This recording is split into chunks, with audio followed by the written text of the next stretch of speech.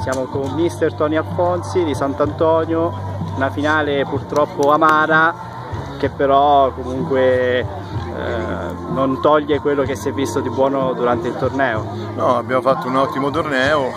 non siamo arrivati alla finale con tutti gli effettivi, ma diciamo che ce la siamo giocati soprattutto il primo tempo, poi alla fine dopo il terzo gol abbiamo avuto un crollo diciamo, abbastanza normale, complimenti alla squadra avversaria, ottima squadra, credo che le due squadre che si sono trovate in finale hanno meritato questa finale e niente, sarà per il prossimo anno e complimenti a, oggi per questo torneo. Che voto dà la sua squadra complessivo del torneo? Io do 10 a tutti i ragazzi e non, alcuni non più giovanissimi ma ancora con tanta voglia di giocare tra cui anche Guido Di Fabio che oggi non ha potuto giocare per infortunio, Ottavio Palladini, Massimo, Massimiliano Zazzetta, per non parlare anche dei vari Camilli, Pignotti.